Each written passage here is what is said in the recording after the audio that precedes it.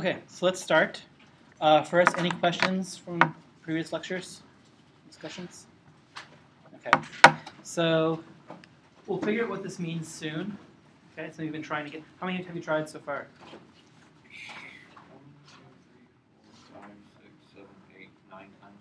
So nine times without getting it right, right?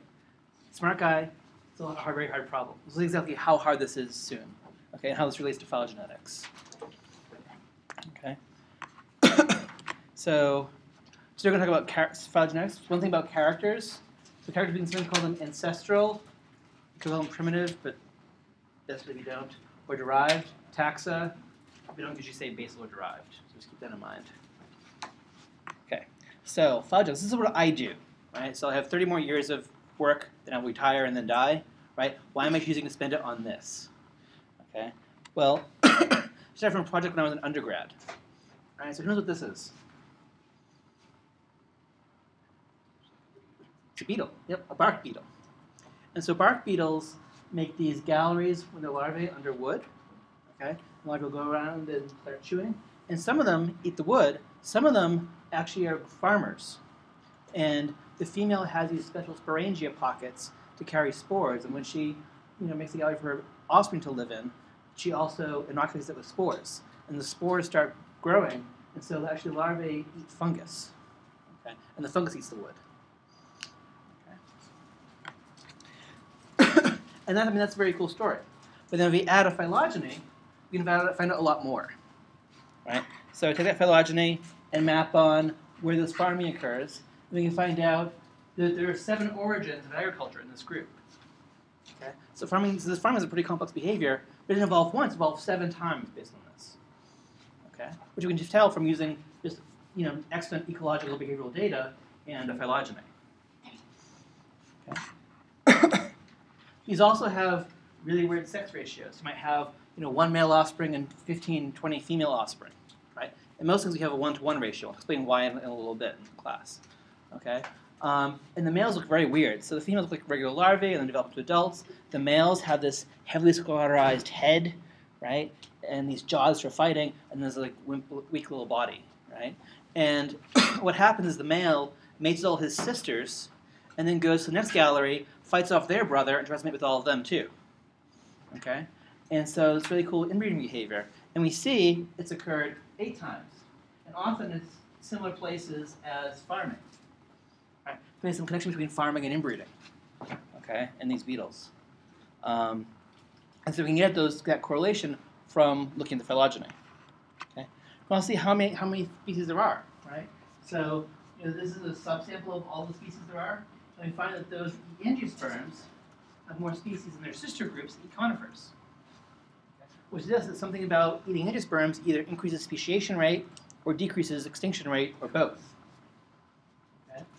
and then you can test it out by using phylogeny too.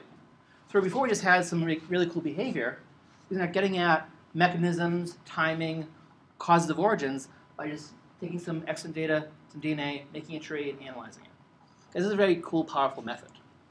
That's why I do it. Right? So any questions about this? Okay. So again, remember, this is a tree. Tree is a series of nestings, right? Um, here we see an actual like population history. Right? It's a very messy process. Right? You have population size changing, you have extinction happening, you have populations getting subdivided and then coming back together, you have gene flow going from one population to another population, you have hybrids forming. Right? Life is messy. Stuff going extinct, speciation happening slowly. Right? We represent this as this idealized tree. Okay?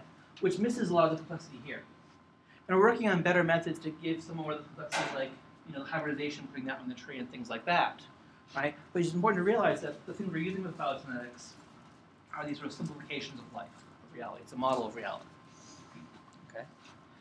Okay. Any questions about that? Okay.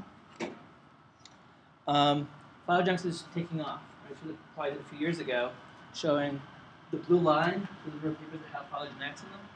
Okay. Like. Um, and then here we see the overlap of evolution, ecology, and phylogenetics.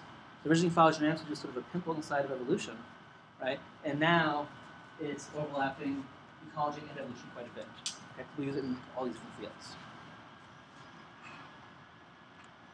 How do you make a phylogeny? Okay. Here's a very you know high level quick view. Right? You get you out what you want to study. Right? So I want to study phylogeny of spiders or of um, angiosperms or of primates, something like that. And then you select the genes you want. Okay. And you can get it from a, from a public database, or you can go out and get your own get your own data and combine it. Okay. You filter the sequences in some way. Maybe sequences are somehow known to be contaminated, um, like that. Make sure the genes are the same gene. Okay. You align, you align the genes. Okay. Make sure that an A here represents an A here versus T here. And then we do a tree search. We propose thousands, millions of trees and find the tree that best fits our criteria. Okay. And there's different criteria people use, and they fight viciously, throw chairs about which criterion to use. Um, sort of settle down a little bit. Those are form little clubs and don't talk to each other as much, right? But very contentious. We're not going to get into that much here. Okay. and here you can see sort of the height here shows the number of papers through time. You can see it's growing. And the colors show those criteria. Right? So parsimony, this big red swath, right? those are papers that say the best tree is that that has the fewest changes on it. Right? So I have one tree that says eyes evolve 15 times, and one tree that says eyes evolve once. It's probably the tree that has eyes evolving once is the best tree, so use that one. Okay? Um, distance is a tree that minimizes distance between taxa. So taxa should be similar. So let's try to make a tree that has a taxa, you know, similar together. Okay, likelihood uses a model of evolution, right? So you might say, okay, it yeah, maybe think eyes evolve infrequently. Something like a single base pair change could happen a lot, right? So you might have a model that has it what's probably having one change versus two changes. It could be that two changes fits better. Okay, so use a model of that, and that's taking off. Bayesian approaches are the same sort of thing, but they also incorporate prior information. We'll talk about that later in the class as well. And finally, there's various miscellaneous things. Okay? That's sort of the growth different methods. And so while there was a vicious fight between this crew and this crew. Right? And now this crew now uses this as well. And so it's it's complex. Okay? And there's various reasons about philosophy of science, as well as performance of the methods that underlie that dispute. Okay? so this cartoon. So you get a chance to look at this, right? So here we have a menu of options, right? And we say, you know, like exactly fifteen dollars and five cents worth of appetizers, right? It's addition. It's easy, right? It's a hard problem. Why?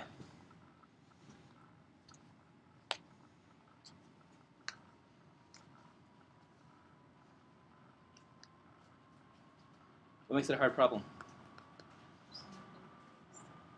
Mm-hmm. There's so many different ways to combine them. And if I tell you, you know, the answer is, you know, 10 sampler plates, you say, no. You can verify that's not, that's not correct very easily. If I say it's seven mixed fruits, you say, is that correct? Yes, it is. So you can verify that accurately, right? But finding that solution is hard. There's actually more solutions than that too. Okay? so this is a class of problems known as NP-complete, okay, in computer science. And right now, if you can, if you can show that there is a fast algorithm to solve it, you get a million dollars. If you can show there is no fast algorithm to solve it, you get a million dollars. Here right now, a big question is, is there an algorithm to solve this quickly or not? Okay, it's, it's one of the big questions of computer science, and there's a prize associated with that. Okay, And the phylogenetic problems we're looking at, you know, trying to find out what is the best tree, is a problem of this sort. Okay, I can say there is a tree that has five changes on it, and I can look and look and look and look and not find nothing finally, boom, I find it. And I can, once I get it, give me a tree, I can tell, tell you, oh, no, that has five changes, that has six changes, that has four changes, right? But finding that tree is hard. And so what we typically do is have a heuristic algorithm, right? Which means, eh, it gets close to the answer, we think, often, not always, right? Which is scary, right? Um, because these are used for, I mean, phylogenetic trees have been used to, to convict people of crimes, right? There's someone who is infecting his patients with HIV, right, deliberately, and, and so they showed that it was, you know, this guy doing it based on the phylogenetic reconstruction, right? But if tree search is fuzzy, how do you know that's the right tree? Right? and we have we have ways of testing support and things like that. Right? It'd be very much nicer to have a fast algorithm. Okay? And so when you're trying to find the best tree, that can take you know days, months to find the best tree. Okay? Um, so it's a hard problem. Any questions about that?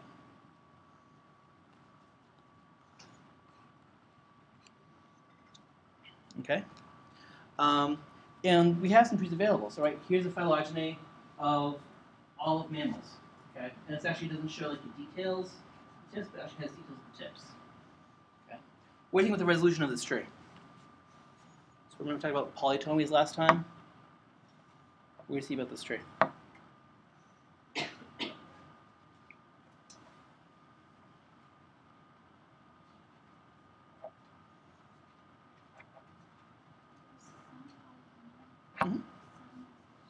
Right, so some resolution. So like here, that's okay.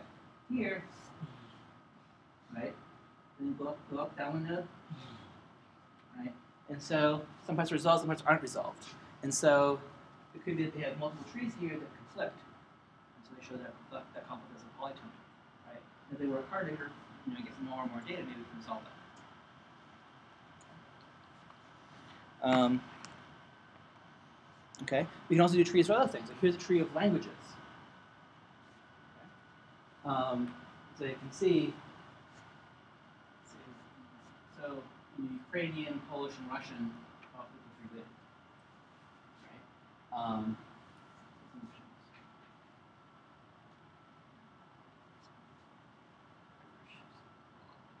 Irish, right? That's actually pretty distinct. Um, um, French is here, right? Spanish. Can do tree of languages. People have done trees of books, right? So if you're, you know, a monk copying a manuscript, right? You're working long at night, you know, drifting off, you make a mistake. The next month, monk to copy your version, you know, copies your mistake as well, and then adds his own, and so forth. And so these history of mistakes lists actually reconstruct what the earliest copy looked like. Okay, so you can reconstruct literature that way too. Right, so these are used in many, many fields, not just biology.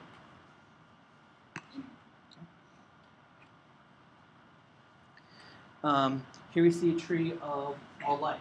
Okay? Of course, it's subsample, right? And things like you know fungi are super diverse, right?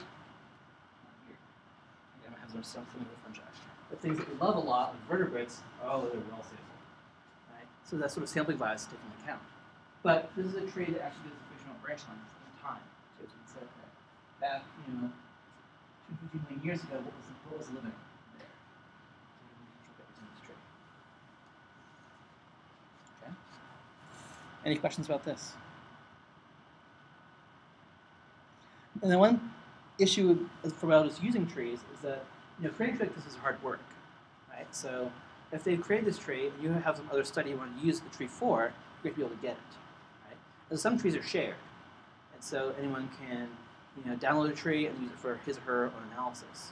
And this particular tree though isn't. So you can look at the picture of it. You want to actually go in and use this tree for your own analysis and say, let me look, look at these vertebrates, they don't allow you to. Sort of a weird how science works sort of issue. You? Nope. They have a website you can use to get like two taxa at once. Um, that's it. I know. Um, yeah, and some, some, Is it like monetary thing somehow, not really. No, I mean, it's sometimes it's sometimes a pain in the neck to share stuff, right? So if I have to deal with lots of people emailing me, that was an older reason not to share. Now, of course, you can just put it on a website and have websites for this. Um, yeah. Yeah. Some people are afraid of people criticizing their work. So we had something published in Nature recently, and someone said, know, I don't think I like how you coded that. Give me the data and I'll try it again. And so the data is all available, so you could download it and try tweaking something and see, you know, if I change how it's coded, is are, are your results sensitive to it, right? And for us as authors, might be like, oh, we don't want to be our, work criticized, right? But For science in general, it's good, right? So you can say, you know, look, your results are very, very particular, and if you change any little thing, it falls apart, maybe, right? And so it's good for science to do that. But for me, I don't want to share my stuff. I want to get tenure, right? And so this, we have a sort of selfish, selfish reason not to share, but we still share, but other people wouldn't. That sort of thing too. Yeah. Or if you've spent, you know, if you're a grad student, you've spent five years making a tree, you want to use it for paper one, paper two, paper three, right? If you produce for paper one and release the tree, then someone else can take your tree and use it for something else, and maybe scoop one of your other papers. So we might want to hold it for that reason too. And so there's, you know, many reasons why people want to hold it and not hold it. I think afraid people might misuse it, right? So um, I would treat it, say, bad in some area. Right? I know it's not really real, well certain, certain there. I'm afraid someone might use it for conservation and say, look, these are one species, so we could build a parking lot there. Well, you can't really trust that part of the tree, right? Maybe, so maybe want to have a restriction for that reason. So there's reasons like that, but science is very definitely moving towards releasing more, more and more data, right? And people pay for science say you must release your data. So it's getting a lot better. Other questions about this?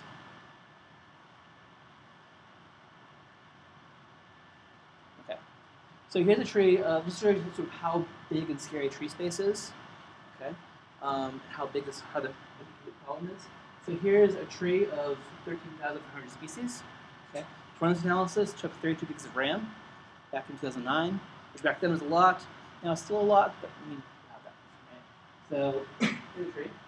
Okay, And tree space grows fantastically fast, right? So here we have exponential growth, doubling on a log scale, right? So linear, linear line on a scale, right? That's fast. Things are exponentially. It's a problem, right? Here's you know using 10 every unit, right? So here's like one, then 10, then 100, then 1,000. Right? That's super fast as well. The number of trees grows what we call double factorially three, five, seven, nine. That was worse than exponentially. It keeps shooting up. Okay. And so, you know, here's the number of atoms in the universe, right? And so, you know, we have a tree of you know, 50 taxa, right? There's more possible trees for those set of 50 species than there are atoms in the universe, right? So obviously, you can't, you know, store each tree in one atom or something, right? so this tree space is this huge, huge area to search on. And again, we have to use heuristics. We don't know. The, we can't, no way to guarantee you get the right answer, right? And so, for that tree of you know 13,533 species, okay, the difficulty of that tree search, I'll say, is the size of finding a rubber duck on campus. If I add just two species to that tree, my search space goes from you know, our already pretty large campus to the entire planet. So, I mean, two taxa makes search space that much bigger at that scale. Okay? So, this is, this is why it's sort of chewy, a hard, very hard problem. Okay? Another issue with it is just looking at things can be hard. Right? Let's say I have 13,000 names. And you might really care about some of the names. You're going to say, okay, where's a daisy on that tree? Where's my favorite oak species on that tree? Well, if you have, you know, a fancy HD TV, right, that's 1920 by 1080 pixels. Right? You can't put 13,000 names on, you know, 2,000 pixels. It's not enough, not enough room there. Right? A whole bunch of names inside just one dot on your screen. Okay. Um, if you have a fancy tiled computer monitors, might actually open old advisor.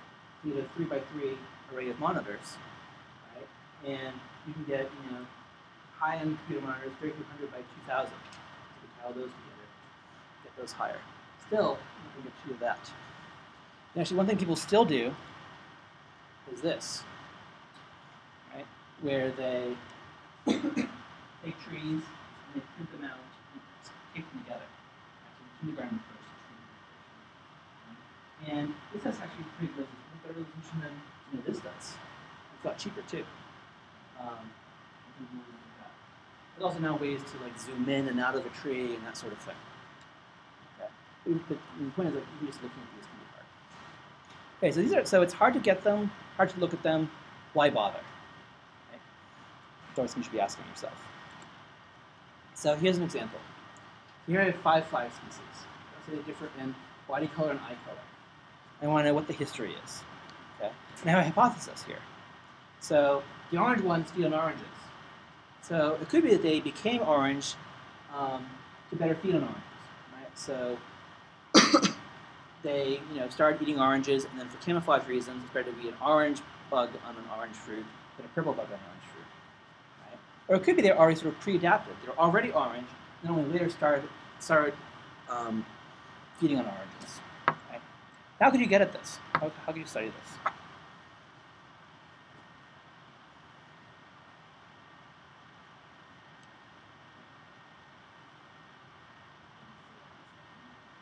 Okay.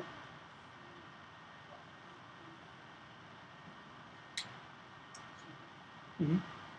Might say something like maybe they're not. Maybe you know, orange is a small part of their diet. I suggest it's not the, this hypothesis. Okay. What else?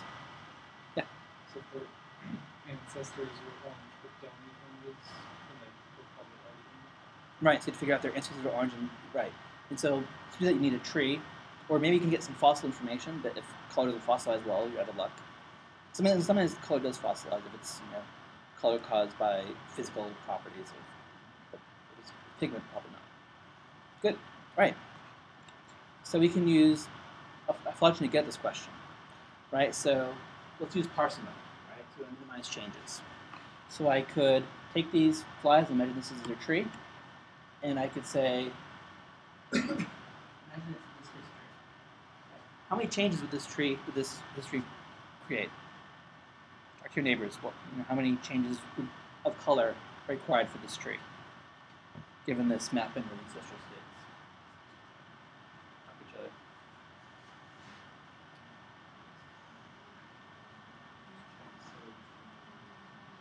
Remember, gi- given given this mapping, orange, orange, orange, purple.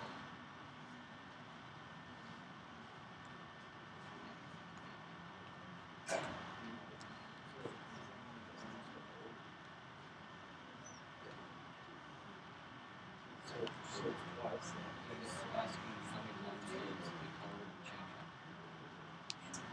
Given given this mapping of? Right.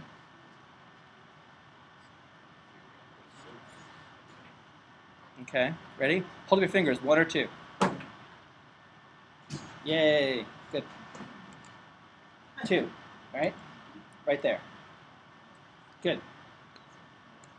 Is that the most parsimonious reconstruction? One of the fewest changes? So parsimony is cheapness, right? It's it the cheapest reconstruction in terms of number of changes? No. What's better? Purple ancestor for all but the orange clade. Right. Perfect. Right.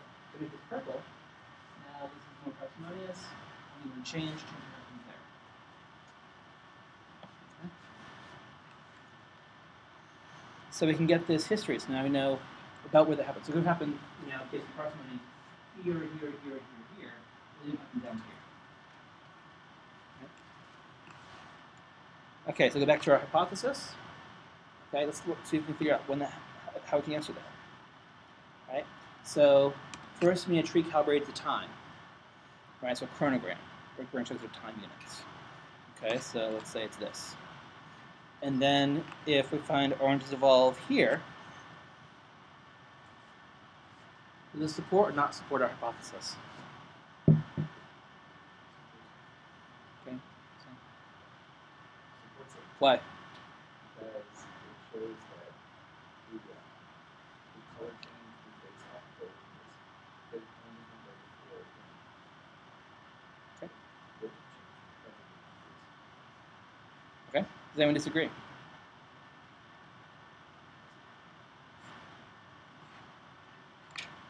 Um, so it's consistent with my hypothesis, right? That you could have evolved orange color because of orange. Does it mean it's true? No, necessarily, right? You could have evolved orange color because some pigment pathway broke, right? And that's what purple orange, right? So it doesn't suggest it doesn't say that it must have been that way. But think about, you know, if it were this kind of tree, oranges evolve, then this would definitely suggest our hypothesis is wrong, right? So here we already are demonstrating oranges. So some trees would say, you know, it's wrong. We just say, we haven't shown it's wrong yet. It's very hard to show that it's right. Okay? Suggest hypothesis. first one that you showed us, where it was like, um, you know, you know, where it was less parsimonious? Uh-huh. Build up the ice, I mean, is there any way to prove that, that when you're just saying you're seeing parsimonious, you know, it's kind of arbitrary? Like, Good question. So, right, so, yes, you say, okay, back to the first one, right? I could have said, you know, well, oranges evolve here, you know, I could have had, you know, this reconstruction instead, right? And it only cost one more, one more change. Isn't that good enough? And this is one reason people don't like parsimony. Is like just you know, the number of changes is hard to quantify statistically how much support there is for one versus two. Um, what people do instead is use a model of evolution, right? And I think like a simple model of evolution like coin flipping, right? And you know have sort of probability of getting heads. You hear a little about heads twice quickly versus getting heads once on a short branch or something like that. Right? Um, and so if you start using models of evolution, then you get support and say, you know, 95% of the evidence is towards one flip or one change.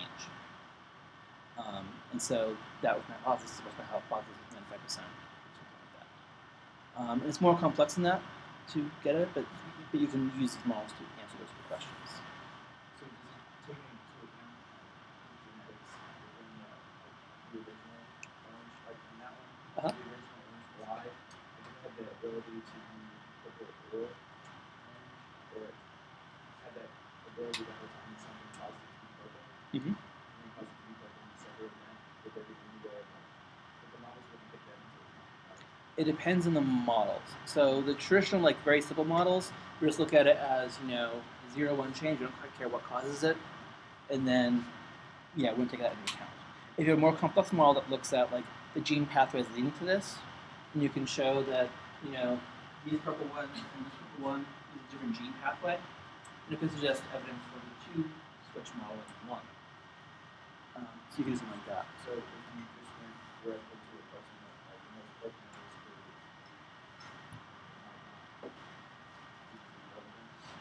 So, this is, so yeah, this is the most. This is the this is a so there's the tree itself, Parker's parsimonious tree. During in this case like other data, like you got DNA data, to get that tree, and then you have the most parsimonious reconstruction on that tree of some other character. So we're talking about here. But yeah, so you, you that right. If you were just using parsimony, I mean, so even there, if you had if you had parsimony, but you said that okay, these have gene pathway A, gene pathway A, gene pathway A prime, gene pathway. Maybe most parsimonious to have a change here and a change here. Right. Because would it just be more persuasive if you take into account two um, separate I guess, traits? Would one be the gene pathway trait, and the other would be the rest of that? Or gene itself? But if you just use the gene pathway as the trait, yeah, and then the best way to explain that pathway is by two changes. Yeah. Yeah, good questions. Yeah. And so, for example, there was a study that came out uh, early on when I was in grad school that said that stick insects re-evolved wings. Okay, so some of them lost wings and re-evolved them, right? And that's crazy talk, right? And wings are a complex thing. They evolved four times. You're telling me that these these of insects lost them and got them again? Isn't much more make more, more sense to have them just you know have lost them multiple times, right? Um, and so, you know, if you parsimony reconstruction, you say, okay, yeah, look, they re- they re-evolved, and I tried doing different statistical models of this to say, okay, let's have a prior belief that when it's you know ten times harder to re-evolve wings than to gain them. Let's see if we have that prior belief going into it, we still got reconstruction that shows the re-evolved. Like, yes, then we have to have a, a crazy like hundred times harder to re-evolve than to um, lose prior belief in order to make it so that they've only evolved once. Okay, and so that's a way you can bring in some of that statistical thinking and look at models that way. Was using a, that was using a Bayesian approach. Okay, so prior plus a model. Okay. Other questions about this? Good. And one thing I'm not showing you here is that you know this reconstruction business, as you sort of guess out already, is pretty uncertain. And so even with good models, oftentimes you say, okay, there's a 49% chance it's orange and a 51% chance it's purple. And it's not a big difference in likelihood. And so there's often lots of uncertainty in the procedure. Okay. Another thing to worry about is you here you have five data points. I'm trying to construct four data points. Right. It's not a lot of data to use for extra these four things. There's no reason why it's uncertain. We're, we're, we're, we're if we look at something like rates of evolution, you might have only two rates, right? Going from purple to orange, orange to purple, that you can get more and more tax forward, so two rates to estimate. So that can be a little, a little more robust than estimating all these states. Make sense? Okay. So that's you know one example where you know depending what the tree is, either in is or but our hypothesis. And so that shows you what you know sort of how this can help you figure out things about the past. Another thing you can do is control for non-independence. Right. So look at these data. What, what, what does this what does this data tell you? Just talk to your neighbors.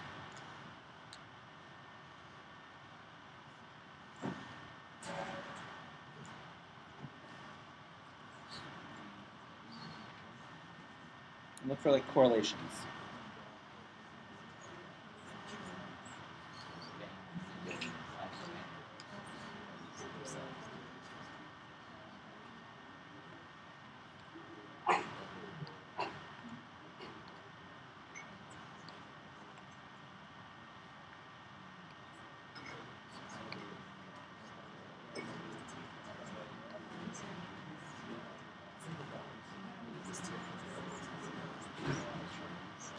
All right. So what do you think? What does it, what does this suggest for correlation?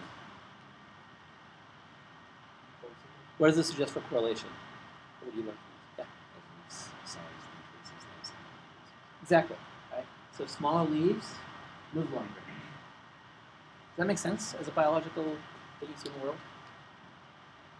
And so I've made this giant, expensive leaf. Oh, throw it away next, next week. It's a little tiny leaf. I keep it for years. Seems sort of counterintuitive, right? Um, could there be a problem with these data?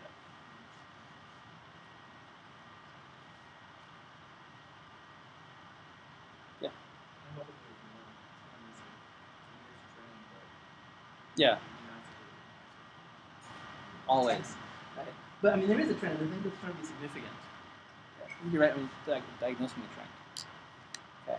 The problem is that species aren't independent of each other. In the same way, you know, we talked about tetrapods having four limbs, uh, mammals having four limbs and producing milk. Right? It's not that milk makes you produce four limbs or four limbs makes you produce milk. It's evolved once and it's correlated. Okay, and so we can get at that using a phylogeny. We have a phylogeny of plants, right? and then we construct changes on the, phylogeny and correct for that.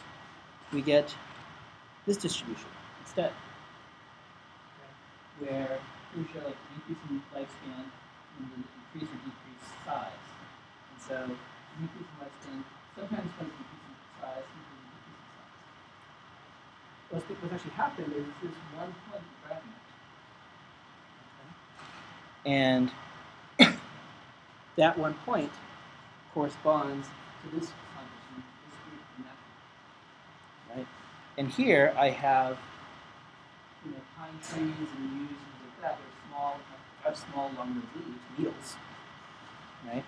And here I have big short-lived angiosperm leaves, right? oak tree leaves, things like that. and so what this plot does is it has a bunch of um, you know, pine trees and things like here, and a bunch of angiosperms here, so the white and black dots. Right? But you, you just think the black dots not really correlation, the white dot's not really correlation. I put them together, it looks like it? It's all due to this one change here. Okay? We're sort of just overcounting it because you know, that same change you, you.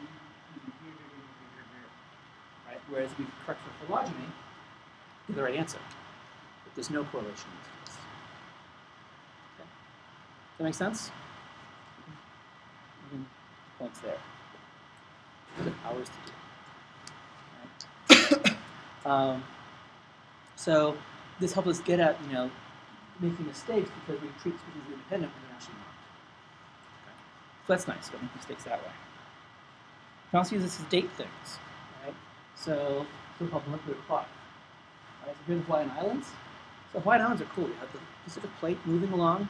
And you have this blowtorch that's melting through the crust, forming volcanoes.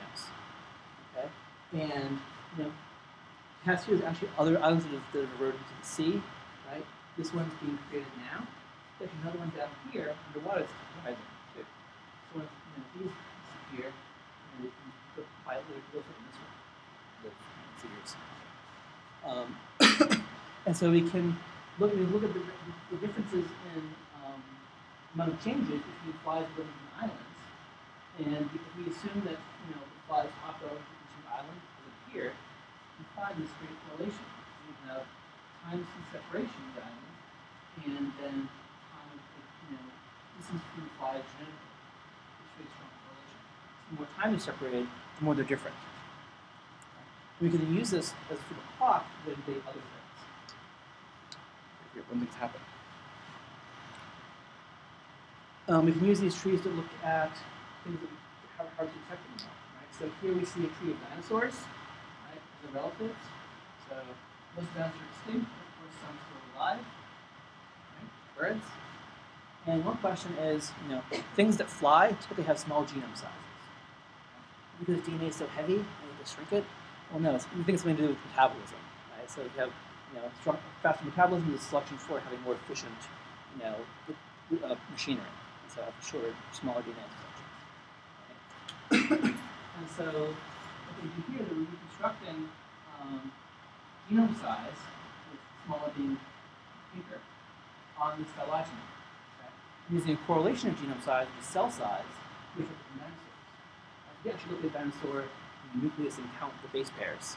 Right? But we can use phylogeny and correlation to phylogeny to start figuring out how big is T Rex's genome.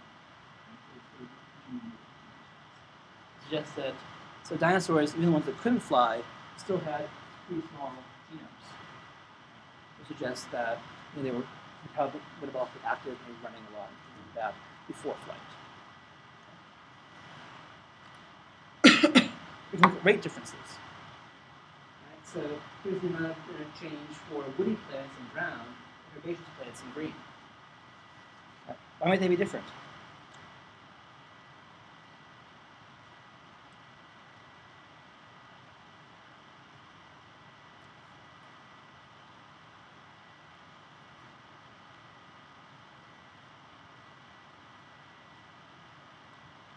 What difference between like woody plants and herbaceous plants? That's the wood. Yeah.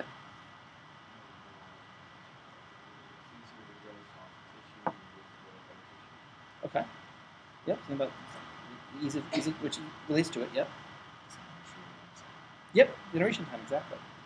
Um, and so this suggests that you know woody plants have you know a year or longer of generation time, whereas herbaceous plants can be a lot faster than that. And so it could be the amount of molecular change you have relates to your generation time rather than just clock time. Okay? You can get that with this sort of analysis. Okay? We can look at um, movement of genes across different species. And so, you know, one problem we have with bacteria is they get antibiotic resistance. And the problem is if one bacterium evolves it, then when it dies, it can lose its DNA, and sometimes other bacteria will pick it up. Oh, this is a cool trait. Let's try that. Um, and we can see how often that's happened over a long time period using phylogeny, like phylogenies and figuring out which genes came from elsewhere. Little things like whole genome duplications. So if you live in a period of time when you know things merge and have their entire genome double, which is cool. Now you have twice as many genes, and now you can start having genes do different things. Okay, so you can start when that happens on phylogenies. Um, looking at evolutionary correlations. Right, if you're a tetrapod, right, walking on four limbs, it's really great that if you know you have variations such that your front limbs get longer, so your hind limbs, right? So you don't have to do right? But then that, but in certain cases, that that would be good to have that correlation break, right? So if you're something like Heliades, swinging through the trees, right, you just need little landing landing stubs for your legs. You need your front arms to be able to grow really long. You can see that you know this correlation between um, arm length and leg length gets lower in these groups. Okay? So about how change happens, we figure that out from the tree. Okay? You figure out where things used to live. So we have species, we construct where they where they occurred back in time. which could tell you something like what caused them to speciate, um, what are they adapting to. Are they poorly adapted now for some reason? Right? Don't they not do well in cold because their ancestors never experienced any cold, so they've never had a selection for it.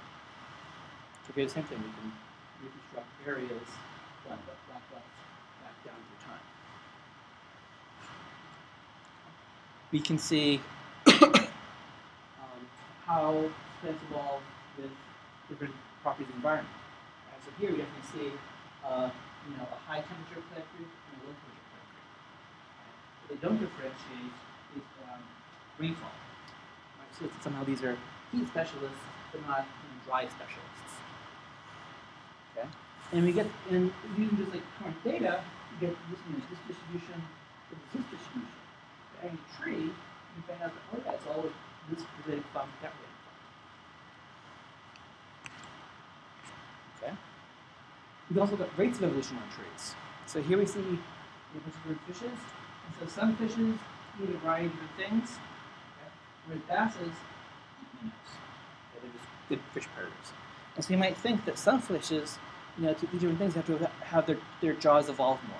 Right? Might have some some do better crushing crushing hard things, some do better eating plants, some do better capturing fast prey. So we can reconstruct rates of evolution and find that yep, some fishes do have a significant faster rate of evolution.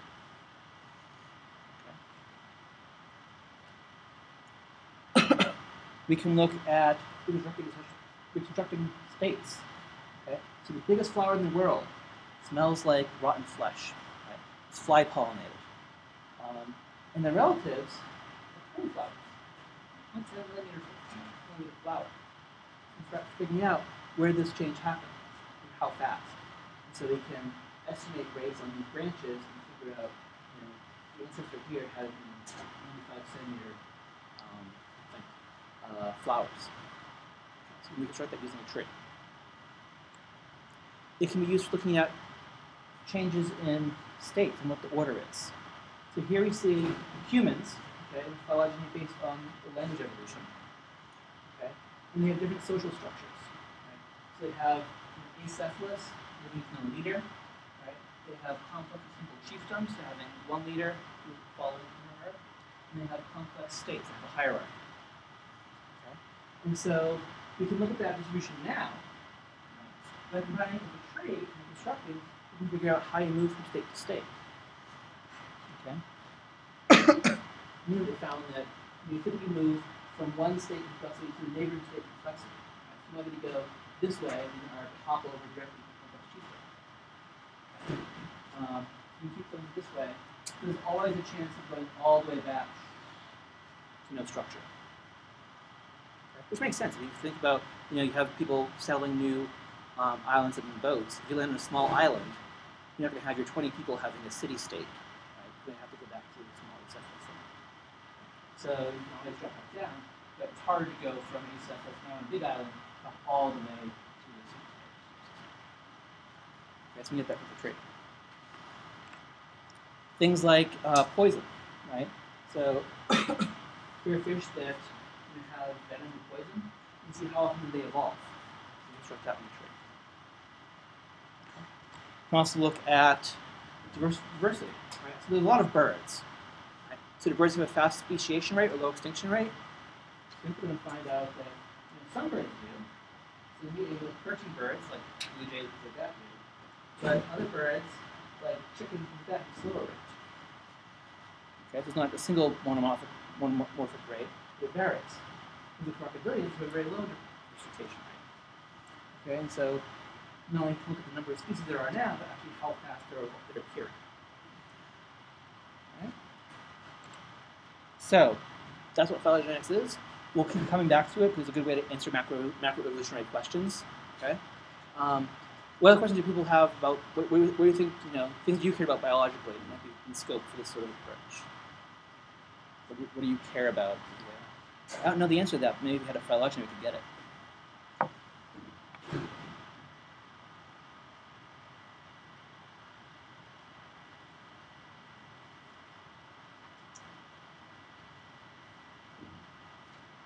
What other questions you have about this?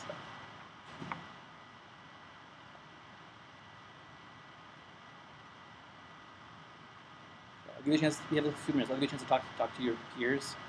Bounce ideas off each other. Some people are afraid to share an idea to the whole class, but if you just say it to your neighbor, they can, they can say, "Oh, it's stupid" or not. You know, so, so talk to each other. I should look.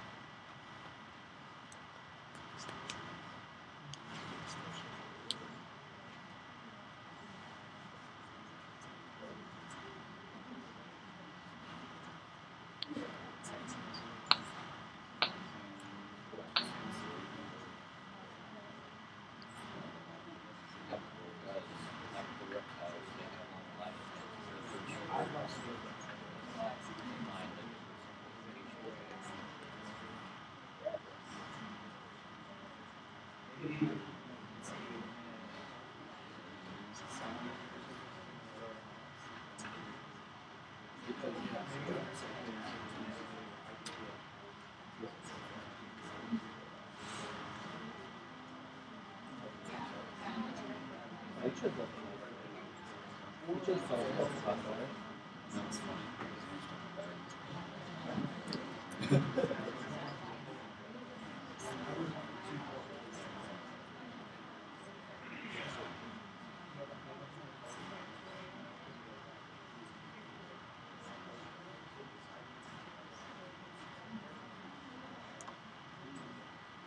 All right. So, what do folks think? What ideas did you have?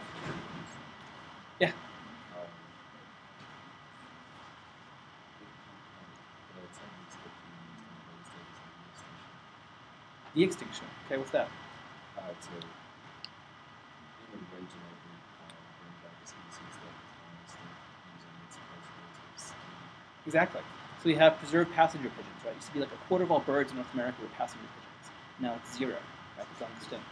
Right? They're tasty, and they also, like if you shot one, the others would circle around and like, call for their friend, and you shoot them all. Um, but we have DNA from them. So if you want to try, try to create a new passenger pigeon, should you stick that DNA into an ostrich, into a chicken, a rock dove, you know, regular pigeon? And so people have used these techniques to find out what species is most closely related to them. And so there's talk of, you know, de-extincting passenger pigeon DNA in something else.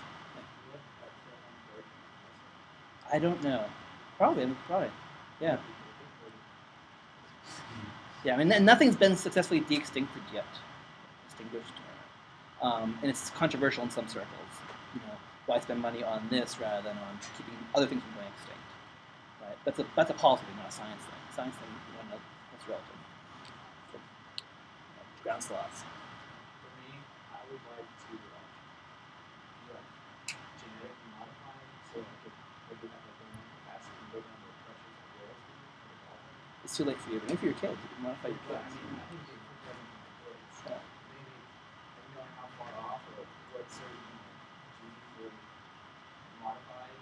Yeah, and people actually done sort of opposite rather than like trying to modify future offspring, but try to figure out like what made humans, you know, speak so much more than chimps do, right? What genes evolved that affect that, and so you can do that perfect. Yeah, as well. Yeah.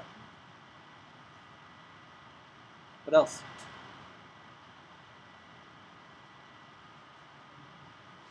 Um, diversification to lifespan ratio, so the longer the organism lives, the longer it takes for them to breed, so they're not going to expand as much. Okay, that's a good, that's a great, question. So, do things that live longer have slower speciation rates or, or, or higher extinction rates? Right? And there could be some reasons for that. I think that that might be the case. and something good to test. And very definitely like something very practical to test too. Good. What else?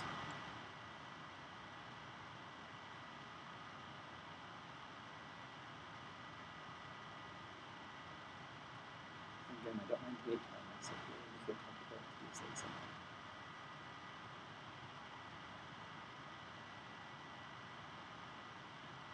Isn't there a species of jellyfish that go from exploded vertebrate stage back to the first stage stage? Mhm. It's when either is Mhm. That would be interesting to find out why that evolved that way.